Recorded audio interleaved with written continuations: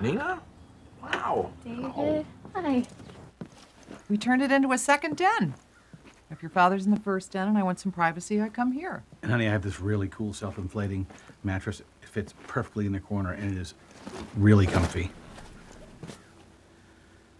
But you know, we have your, your old bed frame out there in the in the garage. I can set it up for you. Take me t- two seconds. No, it's fine. I'll only be here for